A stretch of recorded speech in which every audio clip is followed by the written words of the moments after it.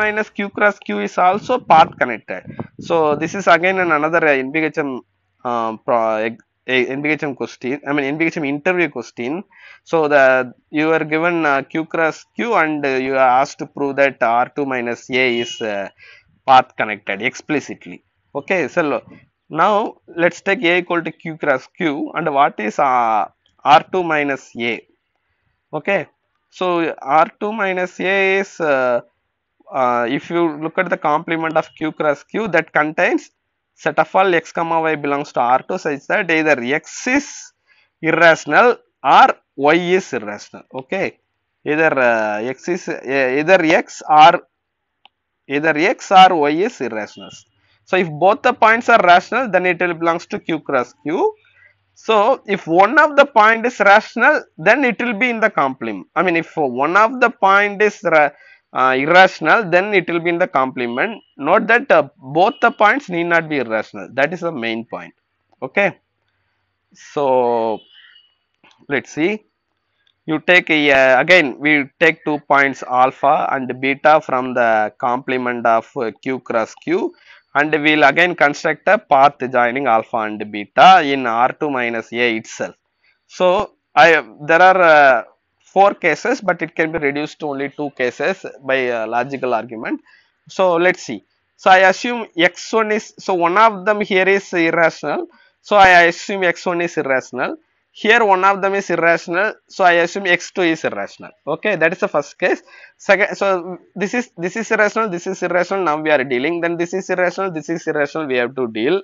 Then this is irrational this is irrational. We have to deal. Then this is irrational this is irrational. We have to deal but uh, like uh, one, so first we deal with this irrational this irrational that case. Then we deal this irrational this irrational case.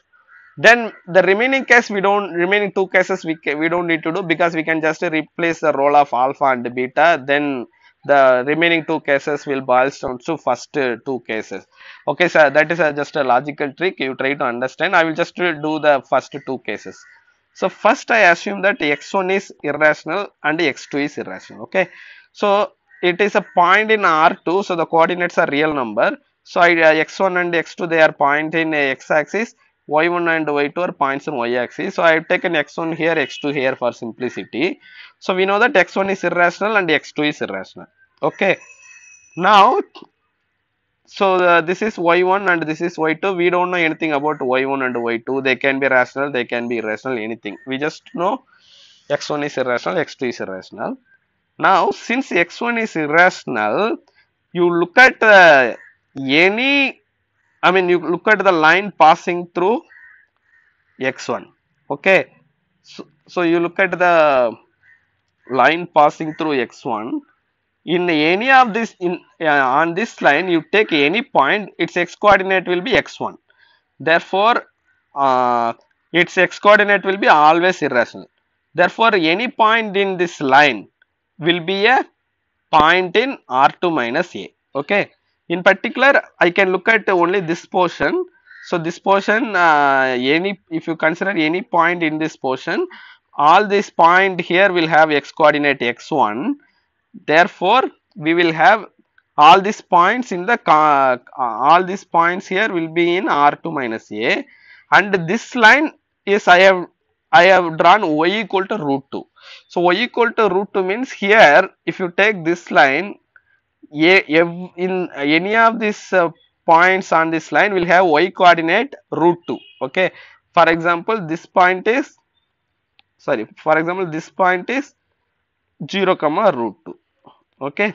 And this point what is this point? This point is x1 comma x1 comma root 2 okay. So now we look at uh, this po we look at this portion. This in this portion all the points will have y coordinate root 2 therefore this portion also will be in r2 minus a. Now again we assumed x2 is irrational therefore the line passing through x2 or uh, x equal to x2 line if you consider x equal to x2 line any point on this line will have x coordinate x2 uh, i think sorry i have drawn it uh, not clearly. So you look at this line, okay. So in, uh, in this line, all the point will have x coordinate x2, but x2 is irrational. So all the points in this line have x coordinate irrational. So all the points in this line will belongs to R2 minus A, okay. Therefore, uh, in this line we look at only this part, okay. There we get uh, this uh, shaded region from here to here, here to here, here to here.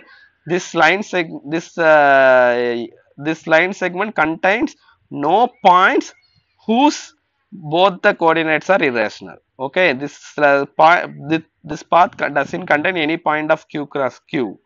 Okay, therefore we get a path joining x1 y1 and x2 y2 in R2 minus a. Okay. Similarly, next look at the case uh, uh, x1 is irrational, x2 is irrational. So, in this case, we have to consider uh, y equal to root 2 line also and x equal to root 2 line also. Then we get uh, this is our uh, required path by the same argument. Okay. So, you just uh, see this uh, image then you can understand. So, and other two cases also similarly we can deal. So, even though this R2 minus Q cross Q looks like a lot of dotted line, dot, lots of dots.